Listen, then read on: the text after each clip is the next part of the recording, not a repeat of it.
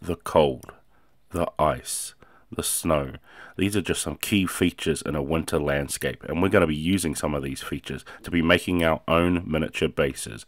And this is a great way to convey a winter themed landscape on your bases. So let's see how we can do this and apply it to our bases.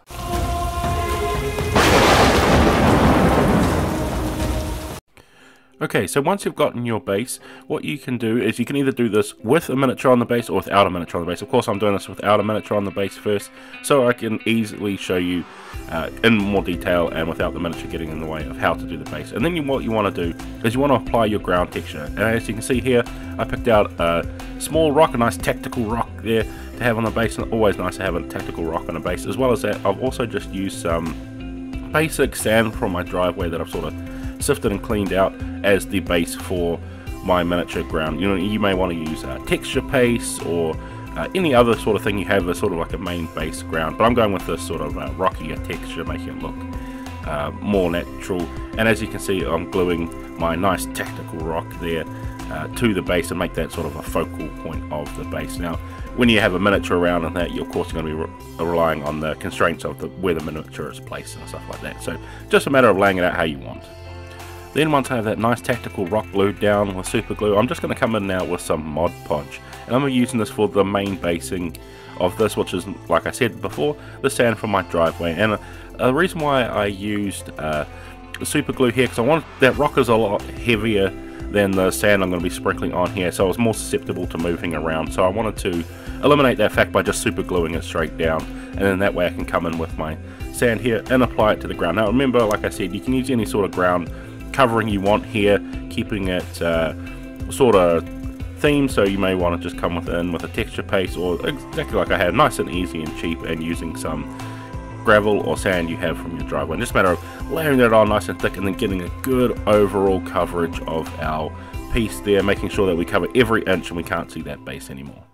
Then once you're happy with the placement that you have for your base, what we're going to do now is prime it up. So I'm going to be using some Vallejo Surface Primer here, just a nice base grey uh, now there's a lot of primers you can use here, it's totally up to you with what you want to go with here, and I'm just going with a nice neutral grey, and I'm of course applying it over everything, and now you could use a uh, spray can, or an airbrush, or like I'm using right here, just an ordinary basic brush to cover this up. I want to of course make this nice and simple so anybody can do it, so I'm just using my brush to apply this nice and easily. But one thing you got to do when you are doing bases like this, especially with a lot of gravel texture, is you want to make sure you want to get into all those little nooks and crannies and make sure everything is covered in that primer. Now that we have all of that completely primed up, we're going to start off with some basic colours. So I'm going to be using some Rhinox hide here. Now, what I'm doing is I'm just basically using a dark tone for this because we're going to be using a lot of very light colors and we're applying snow and stuff there so I want that to contrast uh, a little bit. And the easiest way to do that is to use a nice darker color underneath. So I'm going with a nice heavy dark brown and Rhinox hide is a nice deep brown to use there. So you could use a lot of uh, different tones here but I want to show off the sort of effect you can get with having that very uh, light colors with the snow and then the very dark colors with our ground covering here to really make it pop out especially standing back from the table Then once I have that ground cover completely painted, I'm going to come in with the rocks now. And I'm just going to be using a base, generic sort of rock color for this. Nothing fancy here, it's just a few tones of greys and of course I want to start off with a nice uh, deep grey, and this is sort of a brownish grey, our castle grey that we're using here, to do the, our tactical rock, as I said before, a nice, awesome, standout little piece. It's always nice to have a bit of a standout piece like a tactical rock or a little bit of a bush or a certain tuff that stands out amongst the rest to give that little bit of focal point, but you don't want too much because you don't want to distract from the miniature, just a little bit there to make a little bit more eye-catching, interesting piece on any base. Then with that rock base coat as well as the little rocks around it, I'm coming with a uniform grey here, which is a bluish grey. So this is going to help tie into that cooler theme like I said here. I want to make, because we've been using a lot of sort of warmish colours here, so I want to start making everything a little bit colder and giving that sensation of a nice cold landscape. And going in with a bluish grey here to help uh, add into the effect is really going to help subtly change it. You won't notice it uh, too much just by saying, hey, look, here's a different bluish color in here, but it's going to make that sudden change, especially by the end of it, that we've got these cooler tones into the piece.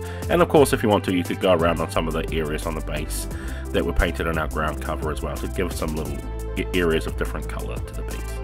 Then once we have that blue-grey introduced, we're going to come in now with a wash. I'm using some dark tone for this. And this is going to be for our rocks here, giving it a good, nice, deep darkening down of the colour. Now I'm not going with the brown wash here because that'll warm the rocks basically back up. And we don't want to do that. We want to keep them nice and cold uh, looking anyway. And just giving them that black tone is just going to darken them down without changing the warmth in it too much as if we had to come in with a brown wash. So giving it a good, nice overall coat here, making sure we don't have it too much onto the ground, but it's not too much of a problem at this stage.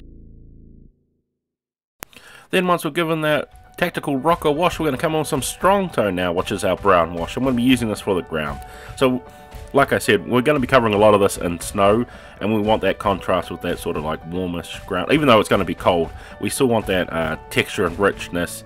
So I'm going with the brown wash here. You could, of course, go with the black wash here, but I want to still just have just a teeny little bit of warmth in there, that ground, because I'm not going to be putting complete snow over the whole lot. We're going to have some ground showing, so we need to show some areas where it's warmed up a little bit and we don't have that snow cover completely on there. And like I said, this is all going to be very, very subtle in there, but hopefully uh, by the end you'll see that all, all these little tiny effects here can really add to the piece overall and giving it a proper feeling that we want to go for on our base. Then once we have that ground cover completely dry, we're going to come in now with some ash grey, which is a very light grey. And we're going to be using this for like uh, said before that we did with our uh, bluish tone, we're going to come in and dry brush it over top of our tactical rock here and bring in some cold colors back into the piece. So this uh, grey here is very uh, sort of nearly like a off whitish color and how light this grey goes so it's going to be perfect for showing off that effect. Then once we have our rock dry brushed up, we're going to do it once more, and this time it's going to be with ivory. And as well as that, we're also going to be dry brushing the entirety of the ground as well, giving it a very light dry brushing over top to make it look like we already have a little bit of snow coverage on here, sort of like a cheap, easy way to get that snow coverage. Because like I said, we're not going to be putting piles of snow over the entire thing so you can't see this base work we've been doing. So we want to subtly introduce like there's little bits of snow onto the ground and coming in with an ivory is going to really help out with this to like a, there's little bits on the ground and of course give it that overall frosty effect like the ground has been frosted over and it's nice and deep and cold. Then once we have that complete, what we have is basically the foundation for the entirety of our piece. So now it's coming in time to decorating and we're going to be using some tufts here. As you can see I've got uh, two different types of tufts here, uh, some by Army Painter and some by Gamer's Grass and it's just a matter of coming in and picking out what tufts you'd like on here. So also too, don't be discouraged in only picking out winter style tufts. You can use other types of tufts here. Like you can see here, these ones here uh, from Gamer's Grass are actually quite green. But what we're going to do is add on the effects to the grass and give them the appearance that they are frosted over and cold as well. So like you can see here the difference between our winter tufts and our frozen tufts. They're very stark in contrast. Our frozen tufts are nearly completely white and our winter tufts have a little bit of green in them. So we'll show off what the effect's going to be in the next step when we start making them a lot more frozen over and cold, but still adding in colour to our tufts. Okay, so what I've done is I've just pre place some Mod Podge onto our piece here where we're going to be having a lot of that snowfall going. And as you can see here, there are lots of different types of snow uh, texture and basing things you can use. I've got some uh, Warlord Game Snow here. I also have some Army Painter. There's also Valhallan Blizzard, which is uh, Games Workshop. So there's different types here, but I'm going to be using this Powder Snow here by uh, Warlord Games. I really love the way that this snow texture comes out. It really looks like that nice fluffy snow, that like really packed, um, freshly fallen stuff.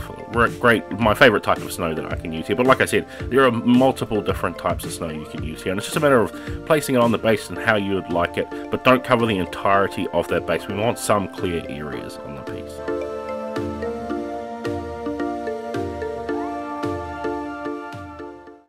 Then once we have it placed down, you can see we've got a good overall coverage of our snow here, all on the base. But you can see that it's not very thick. It's just a nice light covering over the top. So what I'm going to be doing is adding uh, big chunks of Mod Podge to the piece where I want those piles of snow to really be packed up. As well as that, you can also see that I've placed some of the Mod Podge in between the tufts there and sprinkled some of that snow effect on there, which has given them the nice uh, snowy winter look. Like they, uh, the snowfall has come in between those bits of tufts there and really built up. So just a matter of coming in, placing the areas that you want with your tufts to really bulk out those areas. And as you can see, I'm being very, very thick with our Mod Podge. We want that nice, nice lot of piles on top. And the fluffy snow is great for this, like I said before, because you can really build it up over time and add in a lot to those pieces. But I'm still leaving patches that aren't as high and patches that haven't even had any of our snow textured flock on it either. So we've got that nice variety in the piece. And one also uh, interesting trick that I found out with this particular snow, uh, with our Warlord Games one that I'm using here, that if you want to keep it nice and tight and really pile that snow up, is to actually use a little bit of isopropyl alcohol and just dot it onto those areas of the pile of snow. What it does is it sort of soaks in there, then sort of instantly solidifies it with our Mod Podge on there and it really hardens and stiffens it up but also retaining that height in the snow rather than if we were continuously applying Mod Podge over the top it takes a few layers to build it up as it slowly sinks down but when you put the isopropyl alcohol in it it sort of just makes it hard but also keeping it to the height that you just placed the pile of snow on. It's really neat technique. Uh, I don't know if it works with the other snow type flocking, but it does with this Warlord Games one here, this really fluffy like snow. Then now we have all that complete, all there's time to do now is to paint that base rim. Now remember, you can paint your base rim however you like to match your army, but as long as that base rim is black. no, no, no just being silly here. You can base it however you want and match it in with your army here. I just like black because I like the way that it gives off a finish and makes it look like a sort of diorama and encapsulates the whole piece with that nice black base really finishes it off and gives it an actual edge. But totally up to you what you want to do here. But now, since we've finished that base, let's go on to some glamour shots, as well as some areas where I've used a similar basing scheme before on other miniatures to give off that nice winter snow effect. So let's check that out. And there we have it guys, our finished final miniature base of our winter theme basing scheme. So I hope this video is helpful for you guys in creating your own basing schemes and give you that winter themed idea for a single miniature or an entire army. So nice simple techniques to really help get that winter theming across. So I hope this video has been helpful for you guys in creating your own miniature bases here in the winter theme scheme. And I'd like to thank you all once again and I can't wait to see you all in the next video.